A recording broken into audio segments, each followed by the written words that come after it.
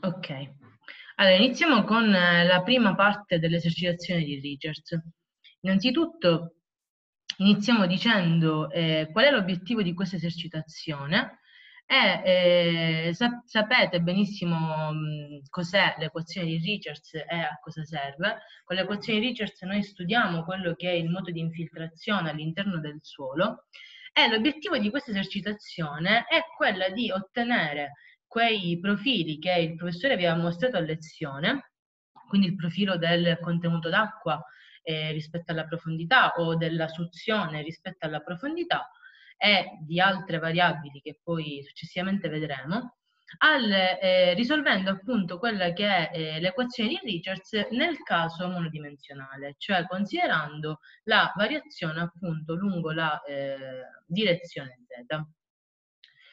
Ora, per studiare eh, l'infiltrazione all'interno del suolo, noi abbiamo bisogno prima di tutto di un metodo numerico che vada a risolvere l'equazione, poiché l'equazione di Richards, come vedete, è un'equazione eh, alle derivate parziali molto complessa, anche se non sembra, ma è molto complessa, è numericamente difficile da risolvere. Per questo tantissimi studiosi, tra cui uno dei vostri professori del, dell'Università di Trento, il professore Casulli, ha messo a punto un metodo numerico per risolverla. E poi successivamente questo metodo numerico è stato invece implementato nel modello che voi utilizzerete per questa esercitazione da Nicolo Tubini, un, un ingegnere dottorando del professore Rigon, eh, il quale appunto ha implementato questo modello implementando anche diverse parametrizzazioni delle curve di ritenzione idrica. Voi sapete cos'è la curva di ritenzione idrica, quindi non, diciamo, non mi soffermo su questo. Detto ciò, allora, prima, dal momento che deve essere una lezione collaborativa, vorrei farvi una domanda, anche se sembrerebbe banale.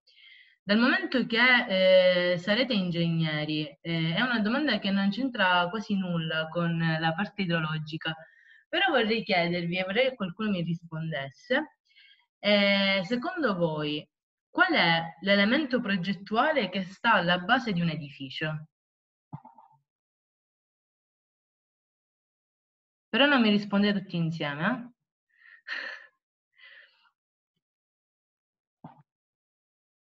Cioè, se voi dovete costruire una casa, dico, saremo, siete, sarete ingegneri, no? Alla base di una casa cosa ci sta? Le fondamenta. Bravissimo, chi sei? Io, Lorenzo. Lorenzo, ok. Le fondamenta. Le fondazioni. Le fondazioni, ok. Le fondazioni. Eh, quindi le fondazioni praticamente stanno alla base di una casa perché vi ho fatto questa domanda? Per farvi capire una cosa importante del modello di Richards, perché è una cosa su cui molto spesso si sbaglia, in cui anche io ho sbagliato, cioè per fare girare il modello di Richards noi abbiamo bisogno di creare la struttura sulla quale il modello deve girare, che è una griglia, una griglia di calcolo. Cioè se voi immaginate appunto questa colonna di suolo che vedete qui a sinistra, noi dobbiamo capire come l'acqua si infiltra all'interno di questa colonna di suolo e per capirlo però abbiamo bisogno di una struttura sulla quale andare a calcolare le varie grandezze e questa struttura è proprio una griglia. Questa griglia, così come eh, vedete, è mh, caratterizzata da diversi punti che mh, si chiamano centroidi e in ogni punto che ovviamente si sviluppa lungo la verticale della griglia, noi andremo a noi, la, il modello implementato da Nicolò eh, con la soluzione del professore Casulli andrà a calcolare la soluzione, la soluzione che sarà la suzione, il contenuto d'acqua o quel si voglia al cambiare del tempo. Quindi abbiamo detto che le fondamenta fondazioni di questo modello è la creazione della griglia. Quindi come prima cosa noi dobbiamo creare la griglia. Una volta creata la griglia, poi possiamo passare a fare girare il modello, infatti è la parte 2 dell'esercitazione, il run del modello, e dopodiché andremo a visualizzare i risultati attraverso ovviamente l'utilizzo dei, dei notebook di Python. Allora, per creare la griglia. Quindi oggi noi parleremo di questo, di, di, come si crea la griglia, perché è importante che voi capiate come si crea, perché è il, diciamo, la base su cui si andrà a sviluppare tutta l'esercitazione. Quindi sbagliando questo si sbaglierà a seguire tutta l'esercitazione. Quindi la griglia eh, è rappresentativa della nostra colonna di suolo, quindi come prima cosa noi dobbiamo avere in mente il suolo che vogliamo rappresentare e di questo suolo dobbiamo individuare quelli che sono gli strati omogenei, come per esempio vedete nella colonna di suolo qui a sinistra, noi abbiamo, tralasciando l'ultimo, quello bianco, noi abbiamo tre strati omogenei, caratterizzati quindi da caratteristiche simili. Di questi strati omogenei, una volta che li abbiamo individuati, dobbiamo definire la loro profondità, quindi ovviamente in direzione z. Dobbiamo determinare o ipotizzare o li prenderemo da delle tabelle che vi fornirò, i parametri delle eh, curve di ritenzione idrica. Dobbiamo poi ipotizzare una condizione iniziale della suzione. Perché? Allora, il modello di Richards abbiamo detto che calcola la suzione in ogni punto della griglia al variare del tempo. Ora, iniziando dal tempo zero, il modello non può calcolare nulla se non ha delle variabili di input. La variabile di input è proprio la condizione iniziale al tempo zero che noi diamo affinché poi il modello, una volta inizializzato, possa calcolare la soluzione al tempo 1. E poi, utilizzando la soluzione al tempo 1, calcolare la soluzione al tempo 2. Quindi dobbiamo definire tutte le caratteristiche della, eh, della colonna di suolo, compresa la suzione, al tempo zero, affinché il modello possa appunto girare, possa, eh, si possa eseguire. Tutte queste informazioni noi le dobbiamo inserire all'interno di un semplice file CSV, quindi utilizzando Notepad o qualunque foglio di, di note voi preferite, dobbiamo creare un file dobbiamo creare un file in cui abbiamo tutte queste informazioni. Allora, per quanto riguarda la griglia, perché mi sentirete parlare di centroide, volume di controllo, quindi dobbiamo capire come è strutturata una griglia. Allora, una griglia, se voi, se guardiamo questo, un attimo questa colonna di suolo, tralasciando sempre la parte bianca, abbiamo detto che ci sono tre strati di terreno di colore diverso, ognuno avrà una, saranno diversi, questi tre strati di terreno, per essere rappresentati nella griglia, appunto, vengono caratterizzati da queste linee rosse. Quindi tra una linea rossa ed un'altra, la successiva, vi è uno strato di terreno e questo strato di terreno nel modello prende il nome di layer. È uno strato di suolo, appunto. Ogni strato di suolo, quindi ogni layer, viene diviso in volumi di controllo. Come vedete, qui vi ho indicato questo volume di controllo eh, colorato di celeste. Questo è un volume di controllo con il quale si discretizza un layer. Quindi se noi abbiamo per esempio il primo layer, primo layer decidiamo che deve essere diviso in 10 volumi di controllo. Quindi noi avremo 10 di questi quadratini che vedete qui in figura, che saranno appunto 10 volumi di controllo e ogni volume di controllo è caratterizzato da un centroide che è il suo centro di massa o baricentro come lo volete chiamare. E all'interno del centroide il modello andrà a computare la soluzione al tempo n. Quindi eh, se siamo al tempo 0, al tempo 0 no, al tempo 1, andrà a calcolare la soluzione al tempo 1 all'interno del centroide. E la grandezza che viene calcolata nel centroide è caratteristica di tutto il volume di controllo. Dopodiché, invece, l'interfaccia è diciamo, la superficie che separa due volumi di controllo successivi. Si chiama appunto interfaccia dei volumi, tre volumi di controllo. Allora, per andare a creare la griglia di calcolo ehm, si utilizza un notebook, un notebook già preparato da, da Nicolò, eh, un notebook che eh, ha bisogno del file CSV di input e per scegliere il notebook voi dovete scegliere la parametrizzazione che volete utilizzare per la curva di ritenzione. Cioè se volete utilizzare una parametrizzazione di Van che è quella che avete visto a lezione, oppure altri tipi di parametrizzazione che sono implementati all'interno del modello, non so se li avete visti, ma comunque sia sono le parametrizzazioni di Pruxencore, Cosugi e Romano, che sono altri eh, tipi di parametrizzazione delle curve di ritenzione idrica che ovviamente si basano su parametri ovviamente diversi e che ovviamente daranno anche risultati diversi. Quindi scelta la parametrizzazione, andiamo a creare il file CSV. Supponiamo di scegliere la parametrizzazione di Van Genupten e il file CSV che dovete creare è praticamente questo di qui, dove c'è scritto type, eta, n, queste 1, 2, 3, queste 5 righe che vedete qui nella, riportate come file CSV, che però vi ho riportato anche in basso in forma tabellare per essere più chiare. Ora vi spiegherò ad uno ad uno cosa sono questi, questi termini. Allora, iniziamo con il type. Allora, vedete qui, noi abbiamo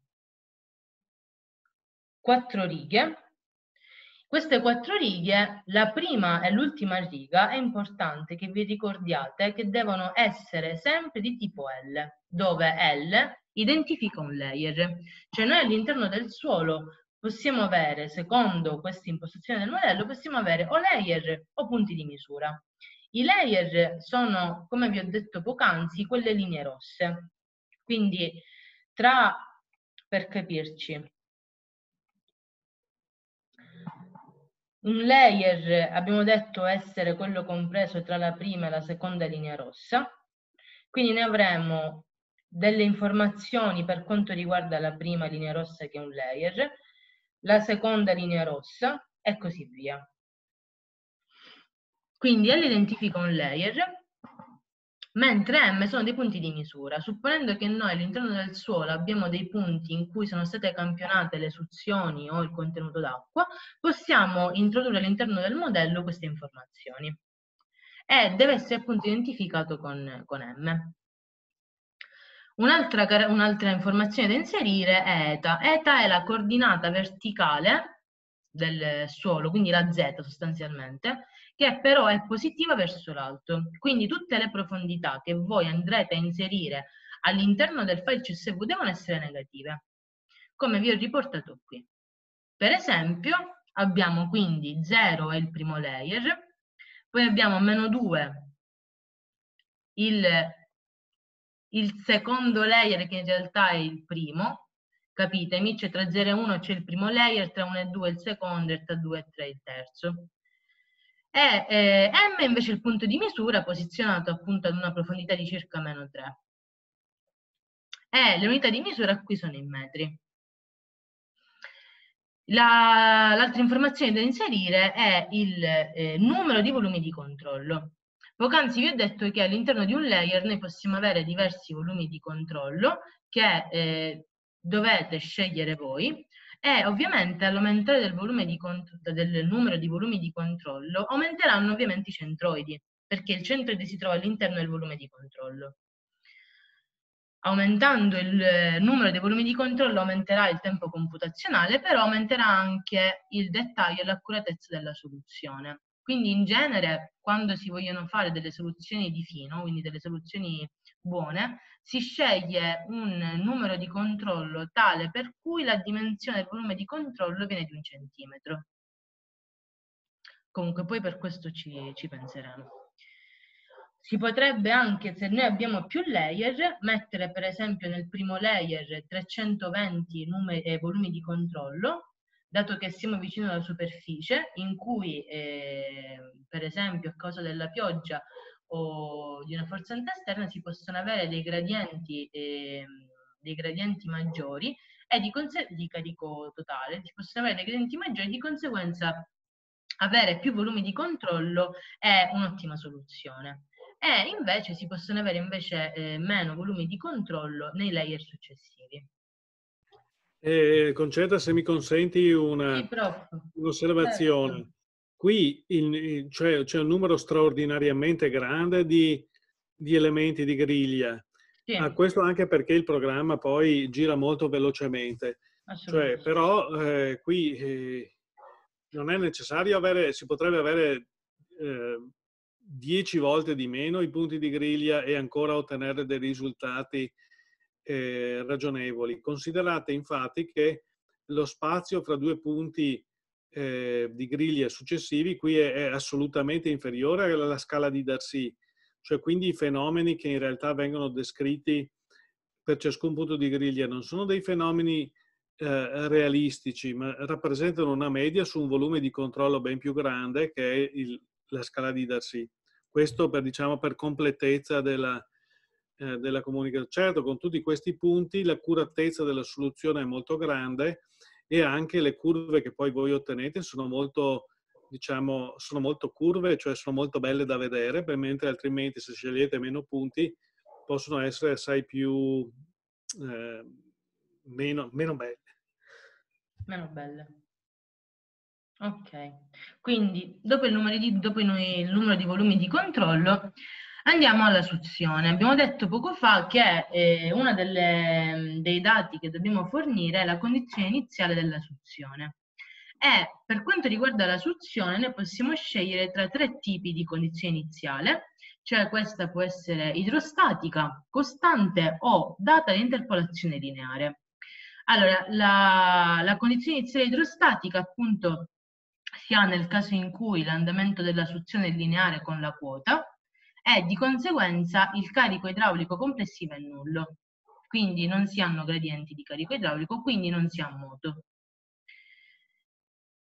Ora, in questo caso, ehm, no, in questo caso, le altre condizioni possiamo avere appunto una condizione iniziale costante o da interpolazione lineare. L'interpolazione lineare si può utilizzare quando eh, si hanno dei punti di misura, come in questo caso, poiché il modello calcolerà la condizione iniziale andando a interpolare il valore di suzione tra l'ultimo layer, quindi il fondo, il punto di misura, se eventualmente ci sono altri punti di misura all'interno della, della colonna di suolo, e il layer in superficie. Dopodiché, Ehm, se in superficie, vedete, in questo caso abbiamo inserito 0,0.1, 0,1. In questo caso ehm, significa che vi è dell'acqua al di sopra della superficie, in particolare qui 10 cm, in quanto anche qua la psi va inserita in metri. E ehm, il, eh, di conseguenza nel caso in cui noi inseriamo un valore positivo significa che eh, l'acqua, cioè la, mm, la, falda starà al di sopra del punto che stiamo considerando, altrimenti al di sotto. Per esempio, considerando il fondo. Nel fondo in questo caso vi è zero, quindi ehm, significa che la falda è coincidente con il fondo, ma se avessimo avuto per esempio meno 1, significa che la falda si trova a meno un metro rispetto il fondo. Mentre se avessimo avuto un più 1 significa che la falda si trovava un metro sopra il fondo, quindi in questo caso a eh, 2 metri, 3 metri, scusatemi, 3 metri. Dopodiché dobbiamo andare a inserire i parametri delle curve di ritenzione. In questo caso abbiamo, abbiamo, abbiamo scelto il parametro di, parametri di Van quindi avremo appunto eh, i, da inserire i parametri n ed alfa ma eh, dal momento che appunto Nicolò ha implementato diverse formulazioni e diverse parametrizzazioni, vi ho riportato qui eh, le altre formulazioni, cioè quelle di Brooks and Corey, per cui si devono inserire i parametri n e psi Questi parametri poi ve li forniremo noi o comunque li potete trovare benissimo eh, su internet perché sono caratteristici anche della tipologia di suolo ovviamente eh, quelli di Kosugi, eh, in cui R rappresenta la mediana della distribuzione dei pori, mentre sigma è la, la sua deviazione standard. E infine quella di Romano, che è quella più complessa, in quanto eh, dipende da eh, molti più parametri, come vedete, e ehm, ovviamente anche in questo caso, no, in questo caso due, le, due, le, due, tipologie di parametri sono dovute al fatto che eh, secondo il romano la eh, distribuzione può essere associata o alla tessitura o alla struttura e di conseguenza vi sono dei parametri relativi alla tessitura del suolo e altri invece relativi alla struttura. Infine dobbiamo inserire, non infine, inoltre dobbiamo inserire i parametri del contenuto d'acqua eh, a saturazione, ovviamente dimensionale, il contenuto d'acqua residuo e infine la conducibilità idraulica, attenzione all'unità di misura poiché non è detto che nelle tabelle che trovate o che vi forniremo noi la conducibilità idraulica è espressa in metri al secondo, quindi attenzione all'unità di misura. Qui deve essere espressa in metri al secondo. Dopodiché, per quanto riguarda invece eh, questi parametri, alfa, eh, beta ed ET. Allora, ET innanzitutto è una, um, il termine, non so se avete visto nelle equazioni di Richards, che eh, alla fine dell'equazione di Richards vi è un più S. Quel più S è, si chiama termine sorgente e in questa formulazione può essere utilizzato per simulare in prima approssimazione l'evapotraspirazione. Eh, deve essere una quantità positiva, ma voi potete benissimo lasciare in questo momento zero, dato che stiamo analizzando il processo di infiltrazione, poi per l'evapotraspirazione ci sarà una, una seconda esercitazione dedicata. Eh, per quanto riguarda invece alfa e beta, questi sono dei parametri caratteristici della, storativ della storatività cioè come varia il contenuto d'acqua nel suolo quando le pressioni all'interno del suolo sono positive. E probabilmente non l'avete visto a lezione, quindi potete tranquillamente mettere zero, però per voi saperlo, mettere zero cosa significa? Significa che nel momento in cui nel suolo vi sono delle pressioni positive, il, eh, quindi maggiori di zero, il contenuto d'acqua all'interno del suolo sarà uguale a quella saturazione, non potrà andare oltre. Quindi rimarrà uguale a quella saturazione. Ok. Fino a qua ci sono domande sui parametri da inserire. Vi porto nella slide iniziale in cui ci sono tutti i parametri. Così se ci sono domande sui singoli parametri Senti, se non ce n'è, continuo.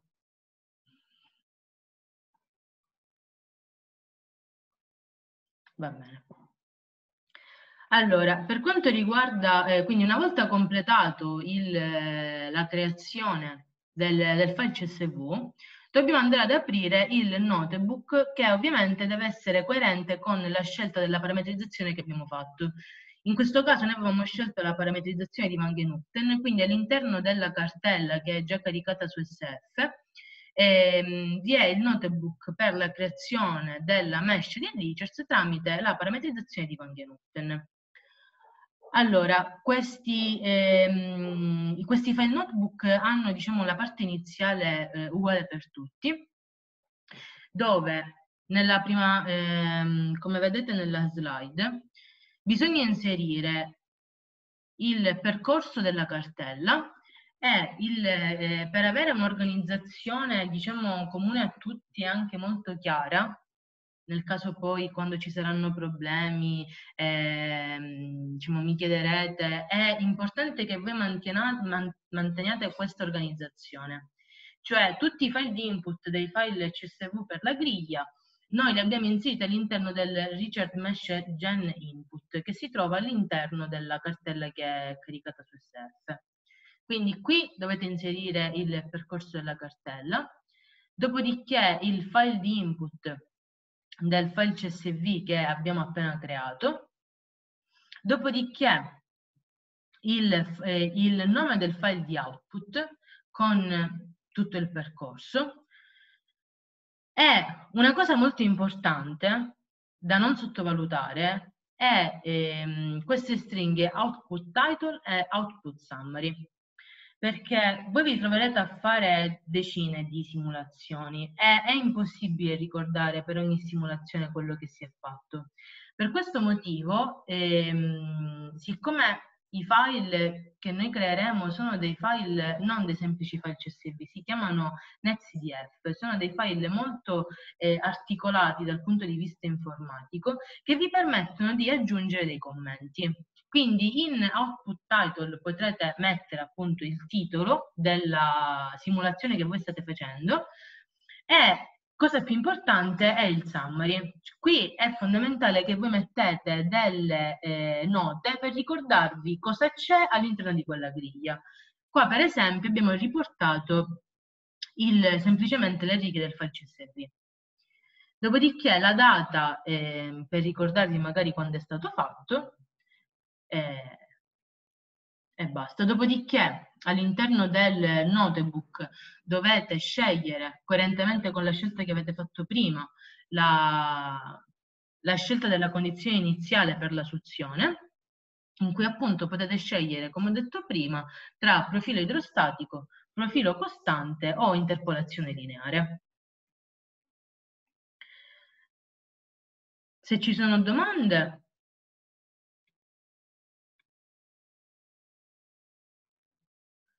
altrimenti passo...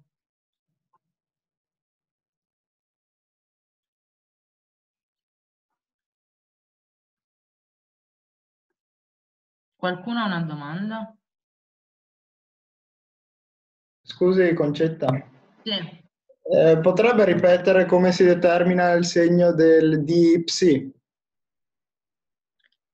Il segno di psi? In che Sì. senso come si determina il segno? Cioè, eh, come mh, eh, Quando è sopra positivo e quando è negativo? Sì, ok, sì, quello lì. Ok. Allora, allora, intanto considera che, considerate che fa, eh, diciamo, da, da capo quello che è il- la convenzione del segno verticale che è stata inserita. Immaginate. Ora, se la falda coincide con il fondo, al fondo noi avremo 0, come in questo caso. Nel caso in cui invece la falda si trova al di sopra, supponiamo per esempio che la falda si trova a meno 3, quindi la falda coincide con questa linea di qua. Noi al fondo, dal momento che la falda si trova un metro sopra il fondo, avremmo messo più 1. Ok? Quindi in superficie invece, siccome la falda si trova a meno 3 metri rispetto allo 0, avremmo messo meno 3. Ma ci può essere il caso in cui noi invece vogliamo partire da una condizione iniziale in cui siccome sappiamo che ha piovuto, siccome sappiamo che si è verificato un evento estremo una settimana prima, vogliamo invece considerare che vi sono 10 cm d'acqua in superficie. Quindi la falda è sempre a zero, perché tra la falda e l'acqua che si accumula in superficie c'è differenza, no? Quindi la falda è sempre a zero, mentre in superficie noi vogliamo considerare che vi è una lama d'acqua, quindi uno spessore d'acqua di 10 cm. E questo lo possiamo fare perché nel layer 0 mettiamo 0,1, quindi più 0,1, considerando che sopra ci sono 10 cm d'acqua. Ok, grazie. Ok. Un'altra cosa che mi sono dimenticata di dirvi è che nel caso in cui eh, non vogliamo mettere valori, possiamo mettere meno 999. È fondamentale però che nel primo e nell'ultimo ci siano sempre dei valori, altrimenti il modello non gira perché non sa come calcolare la soluzione iniziale. Ma per, altre, ehm, per tutti gli altri layer, se per esempio noi qui al posto di M avessimo avuto un altro L e mh, non sappiamo qual è la, la soluzione in quel punto, eh, possiamo mettere meno 999 e il programma eh, capirà che è un no, cioè un no value, non abbiamo valore in quel punto. Infatti non so se si vede nel... Sì, se vedete qui, in tutti i, ehm, nell'ultimo layer in cui appunto non abbiamo informazioni, per la suzione abbiamo inserito 0 perché è fondamentale che qua ci sia 0. Abbiamo inserito la profondità perché dobbiamo dire fino a quando arriva la colonna di suolo, fino a che profondità si estende, ma per tutti gli altri abbiamo messo meno 999. Ok? Allora, una volta, prof, passo al notebook per creare la griglia così completo.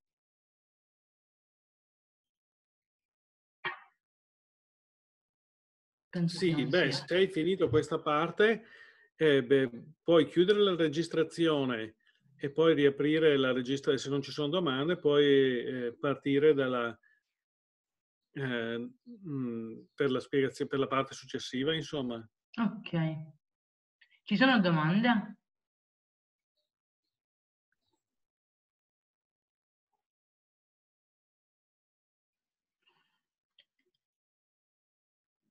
Non ci sono domande.